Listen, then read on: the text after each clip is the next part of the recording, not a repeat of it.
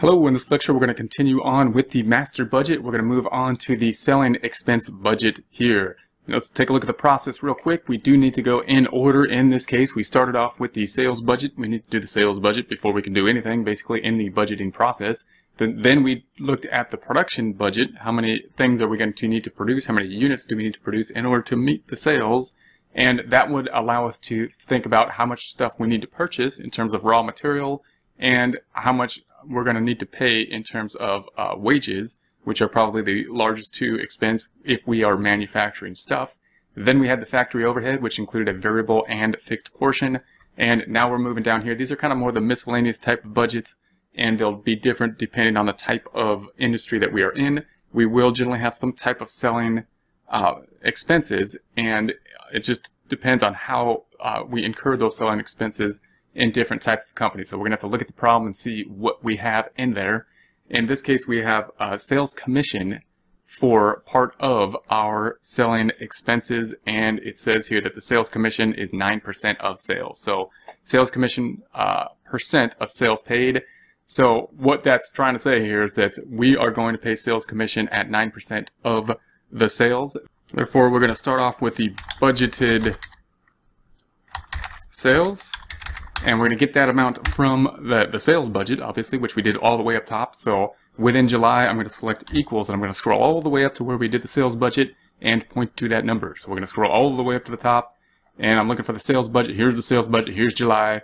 And so it's over here on the 494.4. This is dollars, not units. So this is the dollar sales. That's what we're going to calculate the commission on. I'm going to select tab. Now we are in August. I'm going to do the same thing for August. So we, we want the sales numbers from the sales budget.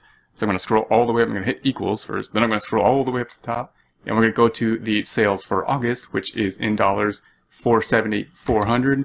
And then we'll do the same thing for September. So we're going to say the, this equals, scroll all the way up to the sales budget, and we're looking for that 42.4. All right, so we've adjusted this to put the dollar sign in there so we can see that we are talking about dollars here, and, and there's always we always want to keep that straight when we're going through the budget. When are we talking about dollars? When are we talking about units? Okay, so now we're going to multiply that times the sales commission percent, and we're going to give a 9% sales commission, so 9% all the way across for July, August, and September. We can then calculate that out, so that means that if we had sales in July of 494.4 times 9% sales commission, we're going to pay sales commission of 44,496. Same thing for August, we're going to say 4,490 times the 9% and tab. Also note that the 9% is a percent, of course, because of the formatting of the sales, meaning if you go to the home tab and the numbers group and you want to hit the percent sign if you want it in the format of a percent. Otherwise, you can just type in 0.02. Also note that you want to have the decimals where they should be uh, in order to display the amount of decimals that you would like to see. So then we're in September, we're going to say this equals the uh, sales 4924 times the percent of 9%. So that gives us the sales commission and we have some more blank space. So I'm assuming we have some other stuff related to sales. So we're gonna have to go down here and what we're looking for in the materials is, you know, what stuff is related to sales versus, you know, the administrative type of information. So commission, of course, would be a sales type of activity. We can also see down here that we have a sales manager monthly salary. So obviously anything that says sales in it is probably going to be somewhere in the sales budget.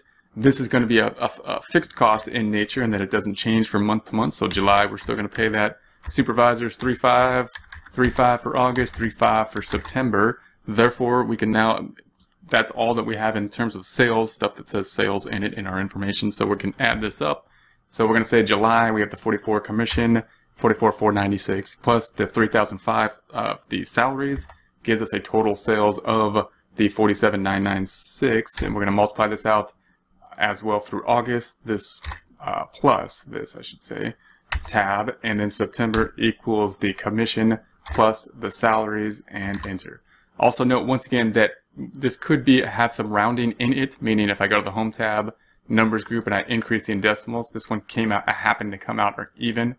But just be aware that uh, it, it is possible that uh, we could have some decimals there because we're talking about a budget.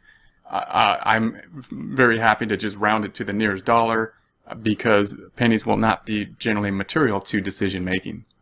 So now we're going to move on to the general and administrative expenses. And once again, this will be